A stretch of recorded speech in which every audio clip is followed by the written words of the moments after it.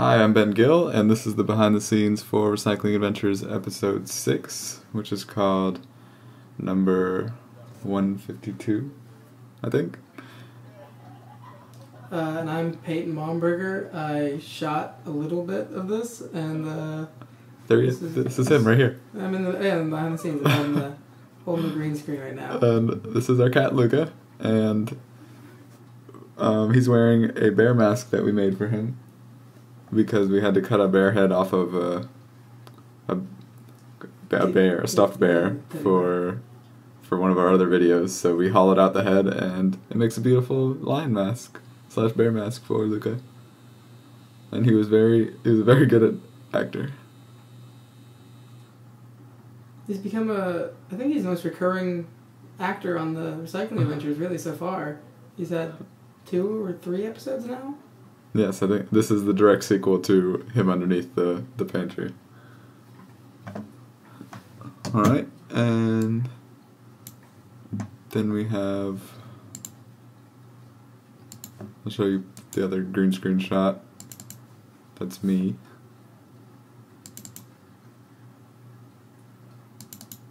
It's not nearly as cute or exciting, but this is. This is me. Setting up the green screen.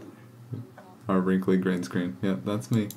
Alright, and so basically Peyton made these these HUDs from a picture on on the internet and made them sixteen by nine so we could use them. So we had this this one with nothing and then this one with the fight menu and this one with a blank space for the moves. And we brought them into After Effects. That was like twenty solid minutes of hard work.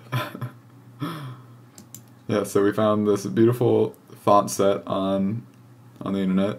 I'm using Pokemon TTF for the for the the font, yes. And this is the file, right? So we have basically just following these reference videos very very uh, to the T.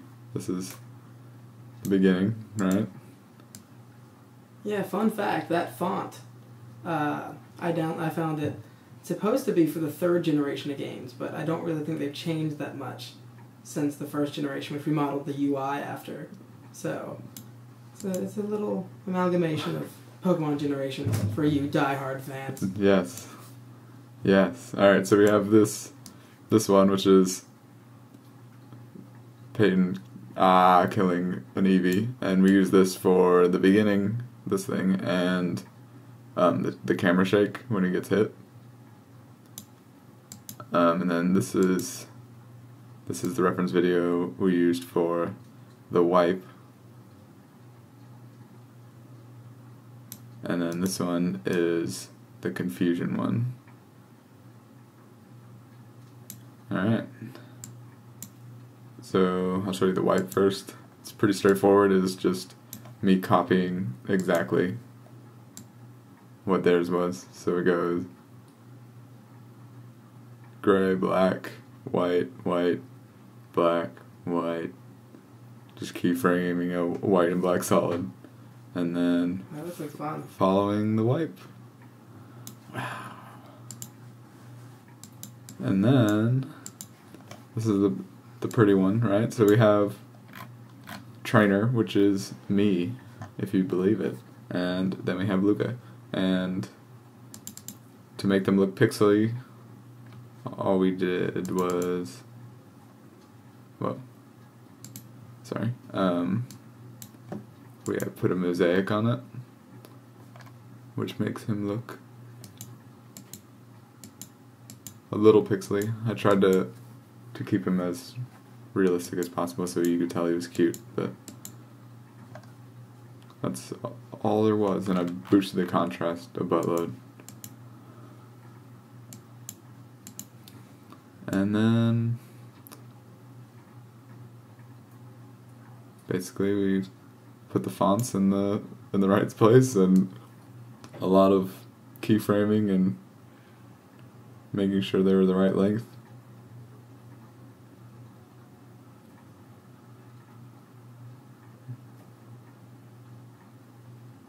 You didn't get with the voiceovers in the final product. No, I cut the voiceovers because I'm awkward.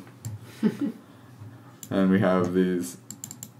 Like we have this one, which has just some health solids that are animated to go down, and then we have um, this number comp that goes down also.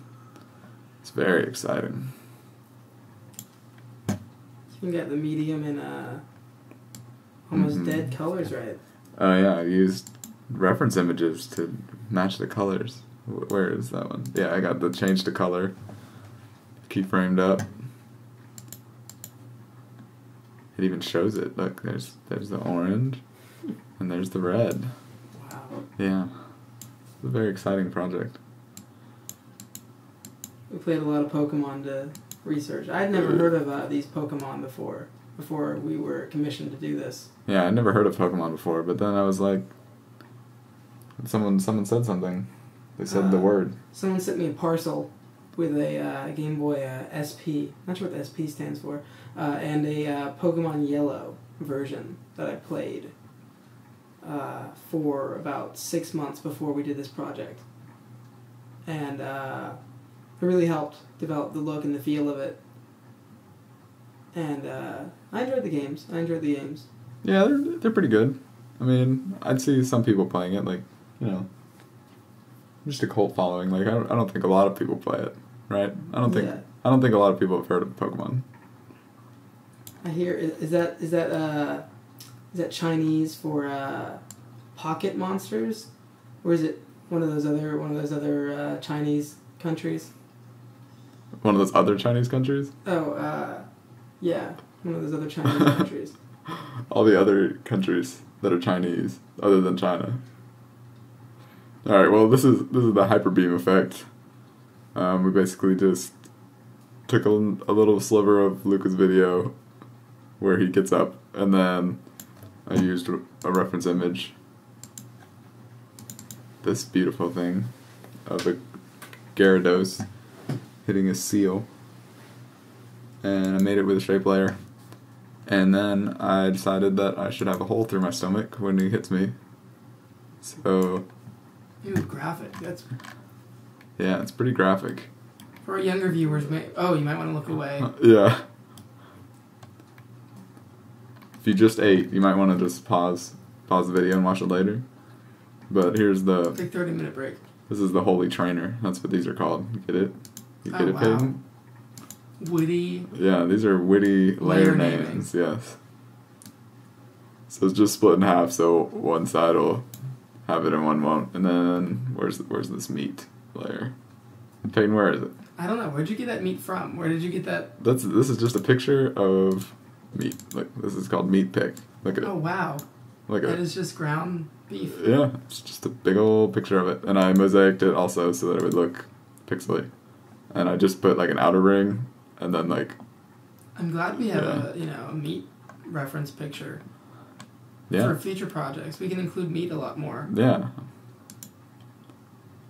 We should do a whole episode just about meat. Hannah, Hannah would love to do that. Yeah, Hannah would would love to be the star. And then I die.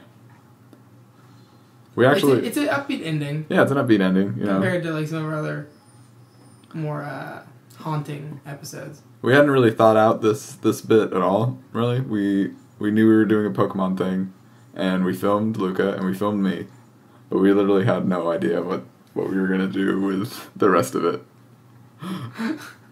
So, what we we. I think we just sort of collectively decided, oh, Ben should just die and it ends. Yep. Whoop whoop whoop.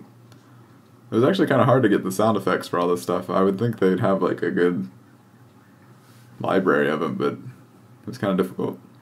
It's very. This is very exciting, isn't it? Yeah, the original uh, 300 page script called for uh, Luca to evolve after this battle, but it we felt that it uh, changed the pacing of the film, and uh, not to not in a good way, and uh, Oh. I just, So so we're I'm- in the Matrix. So I hope you enjoyed uh, this episode, and um, I think Hannah and I are going to be famous actors, actors and actresses one day because oh, see here it says Directing you was a privilege. Yeah, because we are both like fantastic aren't we? Yeah, and Corey, our audio guy, is uh, Oh, hiding in the bush. Corey is hiding in the bush, and I actually hug him in this scene. Fun fact. I hope that was slightly helpful. Um, this is Ben and Peyton signing off. Stay classy. Check back uh, next week for another one, I guess. Yeah, may, uh, maybe. We'll, Maybe. We'll Yeah. try. We'll think about it. All right. Bye bye. Bye. Goodbye.